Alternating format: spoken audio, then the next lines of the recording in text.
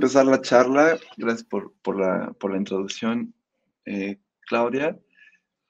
Eh, es, este trabajo es un trabajo que es, sigo colaborando dentro del ITAM, ¿no? Como profesor de tiempo completo, como profesor investigador. Es un trabajo que, con el cual empecé a colaborar en, en Caltech y eh, en particular con un grupo de investigación que se llama Clima. Eh, naturalmente, eh, los miembros de esta organización, de esta, de esta amalgama de organizaciones que están detrás de este proyecto, es Caltech, pero también está el MIT, el MIT Laboratorio de, Propulsión de la NASA y la Escuela de Postgraduados de Monterrey, California, no en México.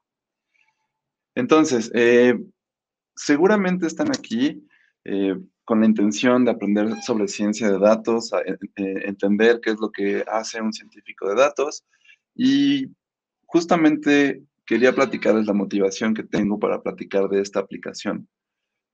seguramente al que le pregunten qué es la ciencia de datos, todos tendremos una, una respuesta muy distinta. en general, aunque nuestra concepción de la ciencia de datos puede ser muy distinta. Nuestra definición sobre ciencia de datos gira alrededor de esas tres esferitas. Para mí la ciencia de datos es, se compone las técnicas para informar en la toma de decisiones o para tomar decisiones utilizando evidencia que observamos de manera empírica en, los datos. Eh, un científico de datos, como yo lo, como yo lo, como yo lo interpreto, como yo lo entiendo, es aquella persona que trabaja en un problema muy, muy concreto, donde eh, debería de saber o debería de poder apoyarse de expertos que toman, eh, que, saben, del, de, saben de la aplicación en la que se está trabajando. Y el científico de datos también aporta conocimiento desde la trinchera de matemáticas y estadística y las herramientas computacionales y de ingeniería. Entonces, en ese, en ese ámbito les voy, a, platicar qué es lo que motivó este proyecto. Este proyecto eh, surge a partir de los acuerdos de París, donde se establece que se deben delimitar el, aumento de la temperatura eh, con respecto a los niveles preindustriales. Y, este límite se establece en 2 grados centígrados. Y la pregunta natural, dado que eh, el dióxido de carbono es uno de los gases que más incidencia tiene en el calentamiento global, es, la pregunta es, ¿cuál es la densidad, cuál es la concentración de dióxido de carbono que puede soportar la atmósfera antes de llegar a esos 2 grados centígrados en promedio por arriba de los niveles preindustriales? En este grafiquito que les, que les muestro tenemos, si mal no recuerdo, 28 o 29 eh, barras. Cada una de estas barras es un modelo distinto, eh, un modelo de predicción climática distinto. Cada uno tiene sus propios supuestos, su propia estructura y hace predicciones.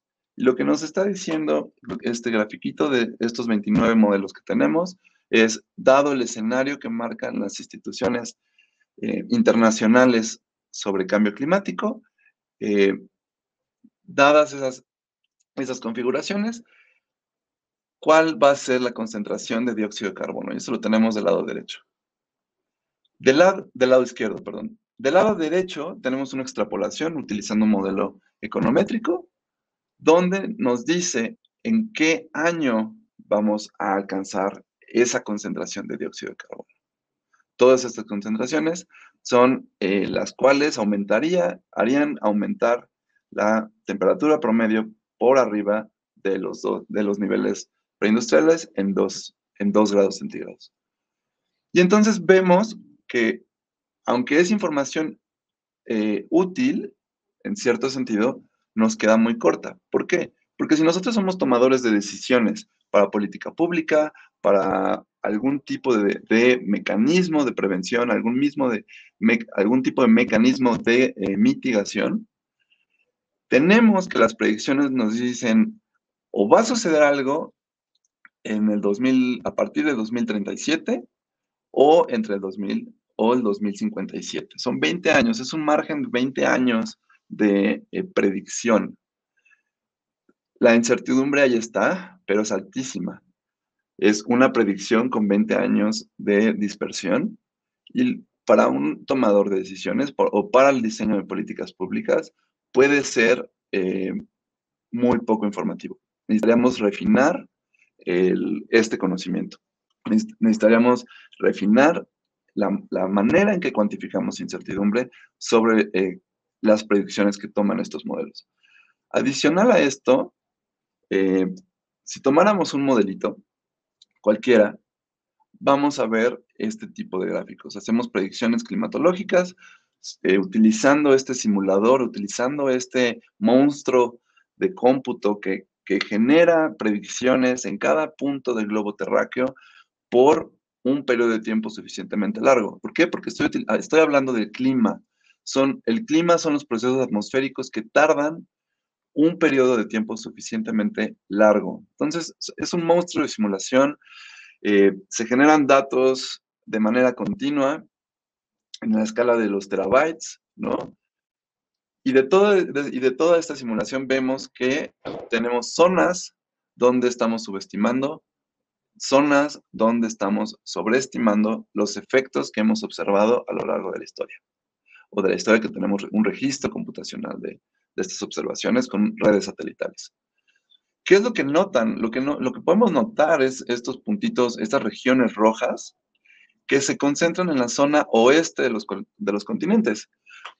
¿Qué tienen en particular? ¿Qué, ¿Qué tienen en particular estas zonas al oeste de los continentes? Bueno, son zonas donde eh, observamos concentración de nubes a cierta altura, una, si les llamamos nubes bajas.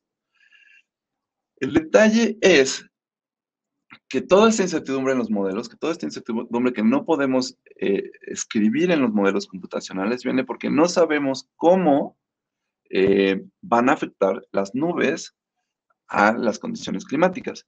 Por un lado tenemos los estratocúmulos, que son, piénsenlo, es como un, pues una hojita de algodón muy esparcida, como el, gráfico del, panel izquierdo, que cubre una gran superficie del planeta Tierra.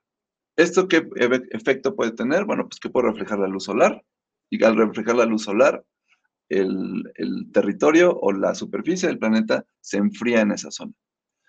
Por otro lado, tenemos los cúmulos, que son es esparcir muchísimo este, este algodoncito, estas nubes, y entonces tiene un efecto muy distinto.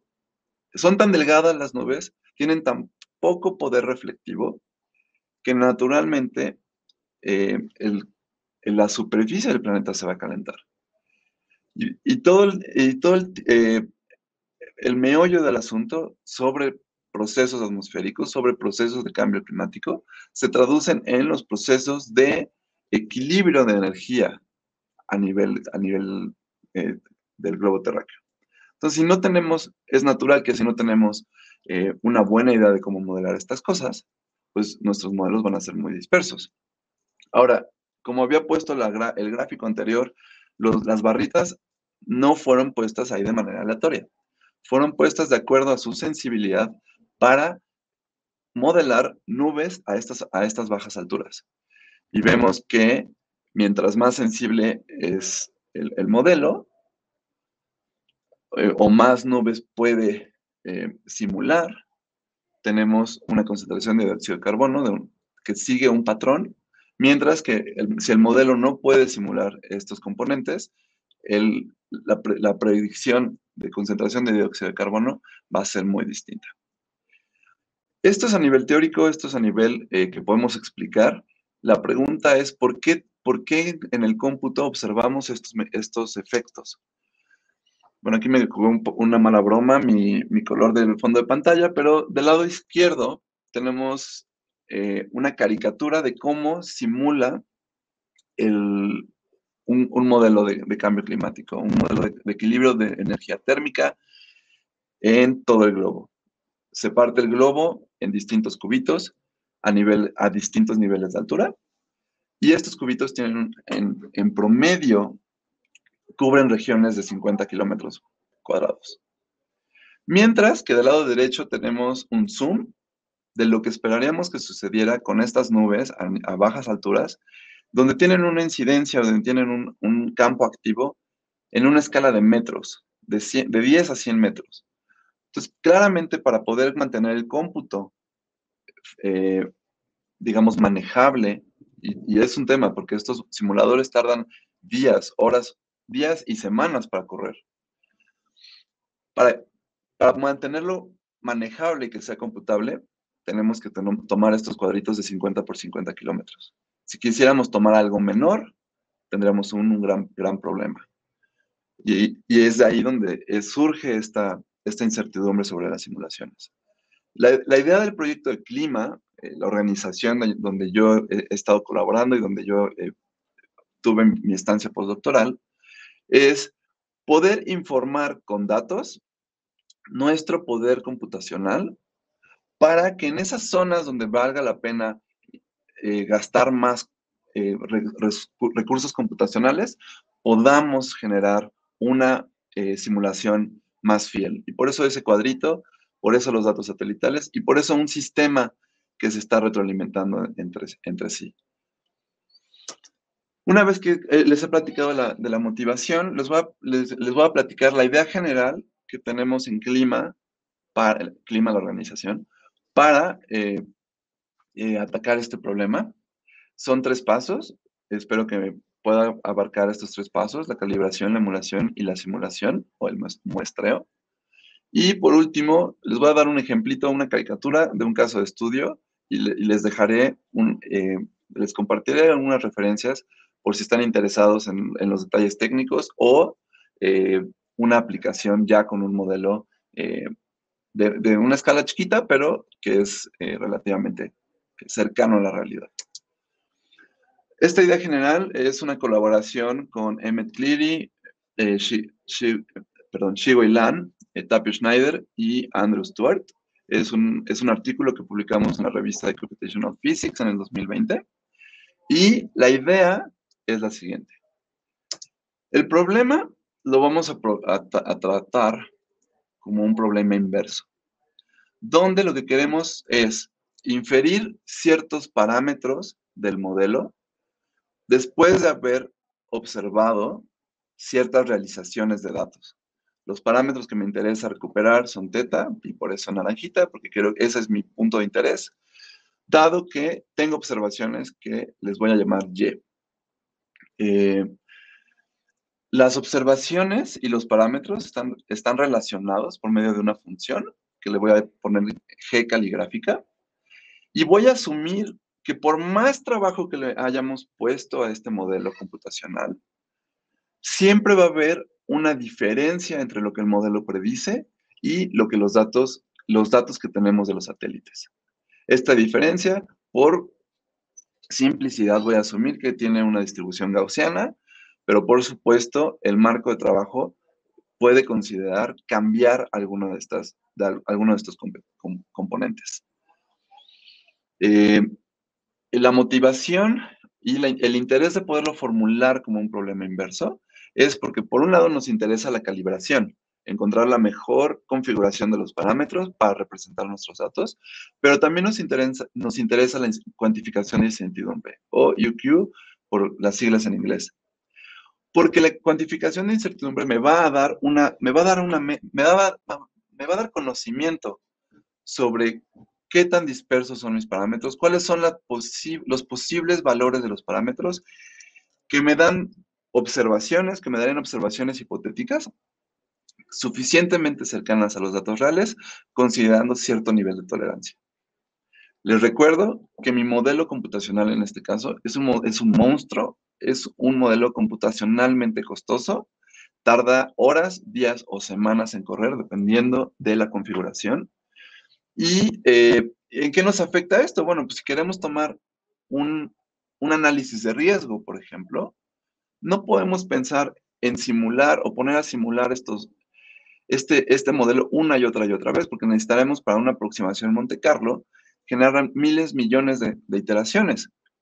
Y dado que tenemos el tiempo encima, pues las predicciones nos dicen que a, a partir del 2030 podríamos empezar a ver altas concentraciones de dióxido de carbono, no podemos darnos el lujo de esperar de aquí a 2030 a terminar nuestras simulaciones para tomar decisiones el día de hoy. Adicionalmente, eh, seguramente están pensando en algún método de optimización, algún método de calibración, utilizando información eh, de primer orden de este modelo computacional, lo que conocemos en cálculo como las derivadas o el vector gradiente de este modelo, pues lamentablemente no lo tenemos. Es un modelo suficientemente complejo que incorpora procesos atmosféricos, procesos de, equilibrio térmico en los mantos continentales, en los mantos acuíferos y en la atmósfera. Son, son sistemas en sí que están interconectados y es muy difícil trazar eh, las derivadas o calcular algún tipo de, adjunta de, esta, de, este, de este simulador. Entonces, si lo planteamos como un problema de optimización, que es encontrar la calibración, lo que queremos es encontrar el mejor candidato para Teta, encontrar la mejor configuración.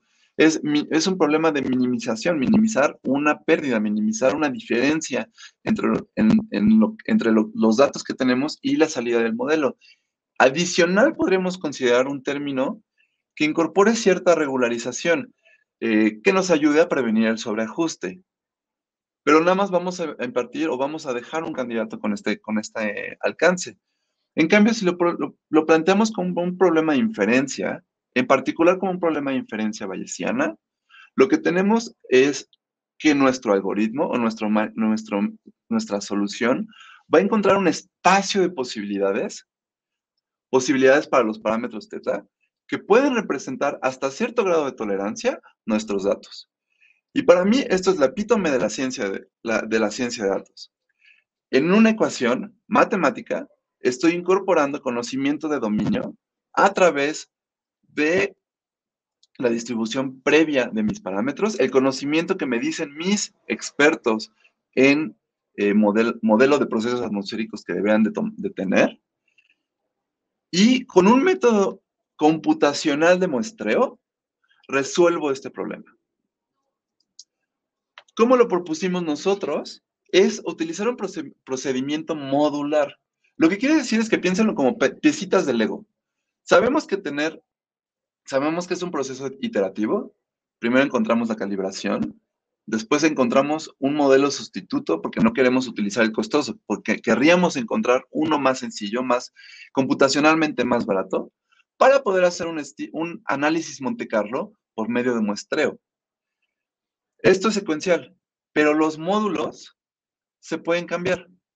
La calibración se puede utilizar un algoritmo muy particular, si tienen experiencia con un algoritmo. La emulación o el modelo sustituto se puede ajustar con redes neuronales, con el modelo predictivo de su, elección.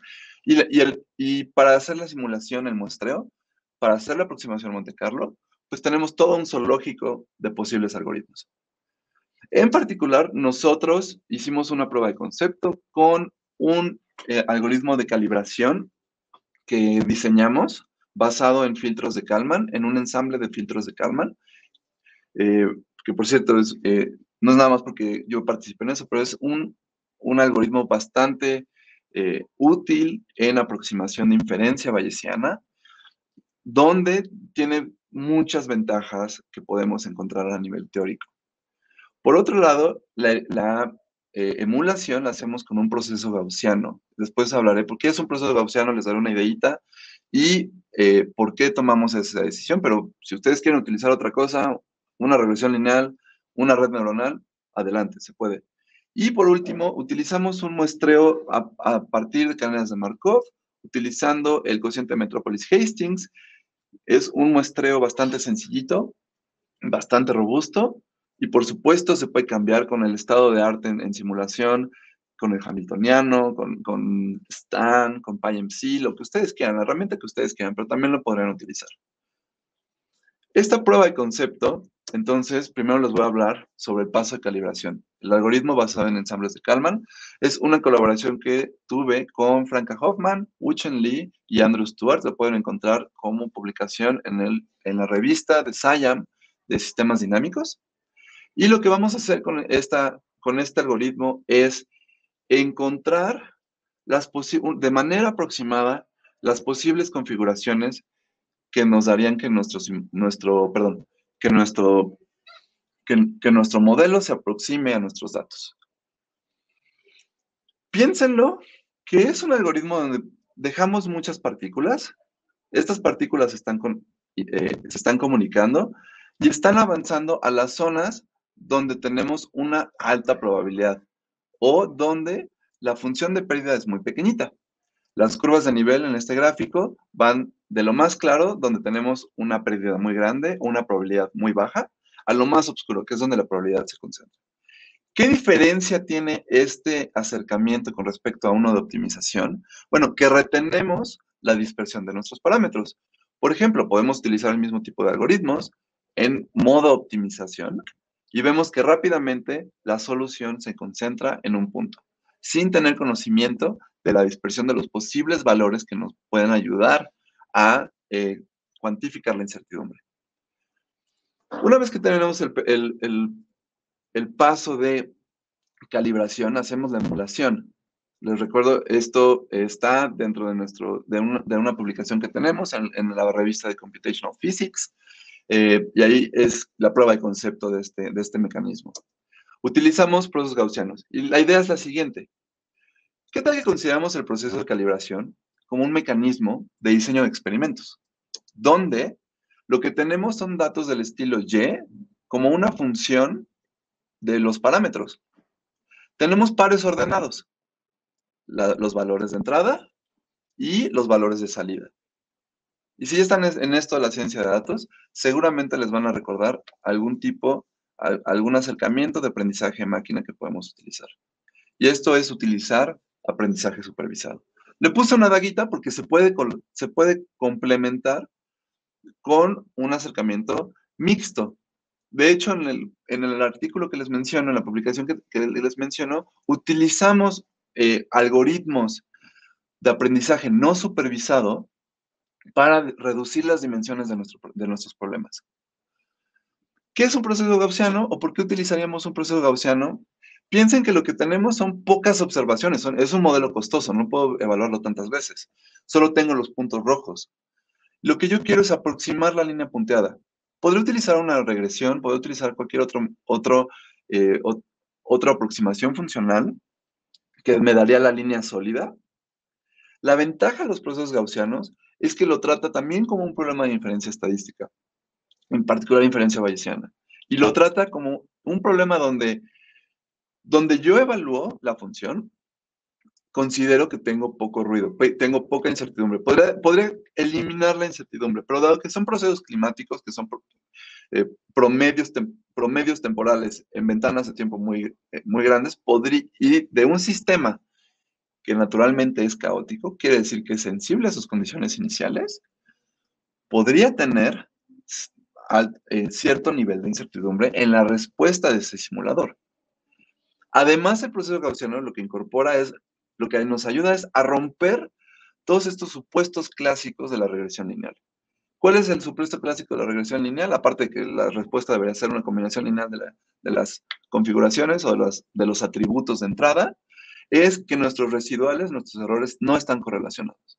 El proceso gaussiano me ayuda a incorporar eh, esta correlación en las evaluaciones, donde la noción es muy, muy, muy intuitiva. Si yo evalúo la función en dos puntos cercanos, van a tener una alta correlación y mi incertidumbre va a disminuir. Noten la región de los puntos alrededor del menos 4 y del menos 2. Eh, al contrario, si tengo dos puntos suficientemente lejanos, la incertidumbre, la interpolación, va a tener una alta incertidumbre. Noten los puntos que están entre menos 2 y 2. Están muy apartados, cualquier punto intermedio tiene un grado alto de incertidumbre. No es malo tener eh, incertidumbre, como les digo a mis alumnos, no es malo. Lo malo, lo peor, es no poder cuantificarla. Y por último, les platico sobre eh, la simulación. La simulación a través de eh, un mecanismo de muestreo, una estimación Monte Carlo, utilizamos una cadena de Markov para poder realizarla, pues el problema se ve de la siguiente manera. Ya conectando estas tres, estos tres componentes, la calibración, la emulación y el muestreo, el problemita, la caricatura se ve de esta manera. Tenemos procesos eh, caóticos que estamos tratando de promediar, naturalmente mis funciones objetivo, mi función de probabilidad es una función eh, sumamente ruidosa.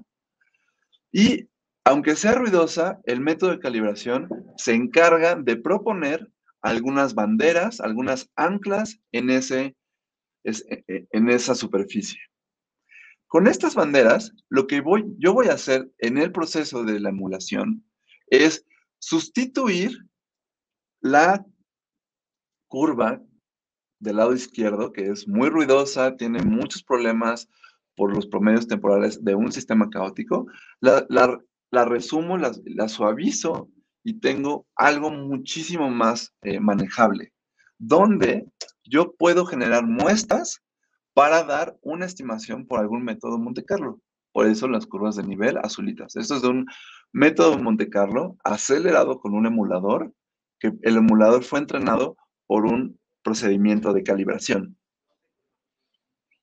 Entonces, nada más, ya casi para terminar, ya para terminar, mejor dicho, es, les, les platico de un caso aplicado, es una caricatura, un sistema caótico, son series de tiempo, eh, ideal, lo primero que, fue lo primero que probamos eh, como prueba de concepto en la primera publicación y que ya pudimos llevar a este caso más, más realista en esta segunda publicación. Es una colaboración con, con Oliver Dunbar eh, Andrew Stewart y Tapio Schneider, y, es, y, la pueden encontrar en la revista de Advances in Modeling Earth Systems. Y la caricatura es la siguiente. Es el modelo, famosísimo modelo de Lorenz del 96, igual no veo sus caras, no veo la, la reacción, seguramente no lo conocen, parece que ser que solo es famoso en esa comunidad, pero la idea es muy interesante. Es un modelo que simula ciertas ondas a nivel de, una esfera son ondas periódicas que tienen dos componentes, un componente de gran escala, la, línea sólida, por ejemplo, algún tipo de propiedad en, los mantos continentales o en los mantos eh, acuíferos, y ruido o eh, procesos con una escala temporal muchísimo más pequeña, que son las líneas azules, que ya se ajustan a las particularidades de esa zona si hay bosques, si hay selva, si hay un pequeño desierto, si hay una, eh, hay una ciudad, etcétera, etcétera. ¿no? Entonces, podemos pensar que esta caricatura nos da un sistema caótico que se asemeja a lo que observaríamos en, en un modelo de escala global, un modelo de equilibrio térmico de escala global. Y los resultados son los siguientes.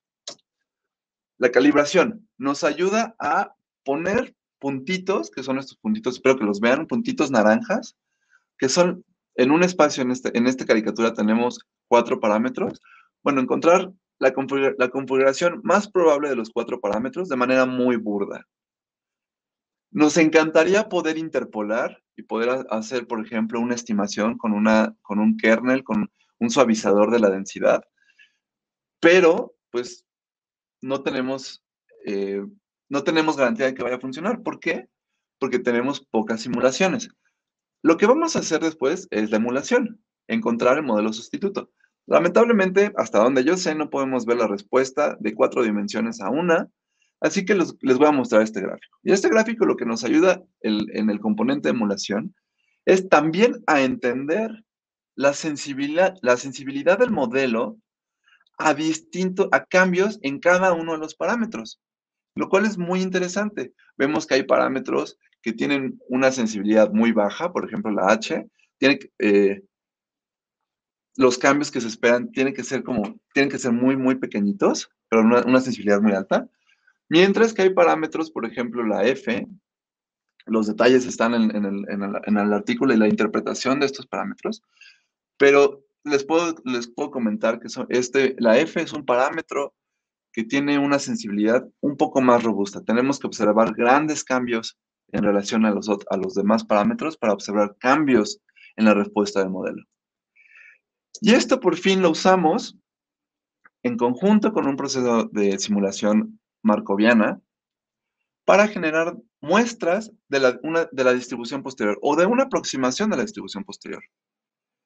Y entonces ya no tenemos que hacer un suavizador de la, de la, densidad. Ya podemos rellenar todos los huecos, todos los espacios en blanco que teníamos antes con simulaciones de este proceso de eh. Noten que el proceso y esta, esta estrategia es robusta incluso a problemas degenerados. Por ejemplo, eh, aquí tenemos estos dos parámetros, la f y el logaritmo de c, dos parámetros que prácticamente tienen una correlación completamente lineal o altamente lineal, y donde también muchos mecanismos de muestreo podrían tener problemas. Nuestro algoritmo y nuestra estrategia para cuantificar incertidumbre, para aproximar nuestro simulador, es lo suficientemente robusto para que esto no sea un problema. Entonces, ya para terminar, eh, la idea general, idea general es utilizar aprendizaje de máquina para acelerar procesos de simulación, estimaciones Monte Carlo, y esto es muy natural en situaciones donde el proceso generador de datos es computacionalmente costoso. Pero también el proceso eh, generador de datos puede ser costoso en, otras, en otros ámbitos. Por ejemplo, levantar una encuesta, por ejemplo, generar los datos, capturar los datos, registrarlos. Nuestro, entendemos que nuestro mecanismo, nuestra estrategia, puede ser utilizada en, otros, en otras situaciones, en otras aplicaciones. Eh, lo interesante es que utilizamos un paso de calibración como un punto de partida para aprender este emulador robusto, para poder hacer el aprendizaje de máquina, para poder hacer un modelo predictivo que relacione respuestas, los datos satelitales, con parámetros de un modelo computacional. Trabajo futuro, porque nos queda muchísimo trabajo futuro, es implementación con otros modelos, en particular los que estamos desarrollando en clima. Bueno, estamos, eh, gracias. Los que están desarrollando en clima, el, equipo de desarrollo de modelos climáticos en clima. Eh, esto ya también le podemos dar palomita, es una palomita adicional. Lo que eh, Oliver Dunbar lo que ha estado trabajando es en el diseño experimental para enfocar las simulaciones locales en modelos globales. Eh, nos interesa mucho incorporar una metodología para datos continuos y esto es porque, como bien les dije, tenemos datos a distintas escalas, hay, datos que cambian muy rápido en una escala de, pocos metros, pocos kilómetros y hay otros, otros parámetros, otras estadísticas de proceso de, equilibrio térmico que tarda muchísimo en eh, equilibrarse. Y por supuesto, desarrollar teoría para entender si, este, si, qué propiedades le podemos pedir a este, a este simulador. Y teoría de perturbación en un ambiente bayesiano para saber y poder informar a los, a los usuarios qué tanto van a cambiar sus distribuciones posteriores si cambian su distribución previa. Con esto termino, les agradezco mucho su atención, les dejo este QR, ya todos usamos los QRs, pueden, los llevará a mi página personal donde podrán ver también la lista de eh, artículos relacionados con esta presentación.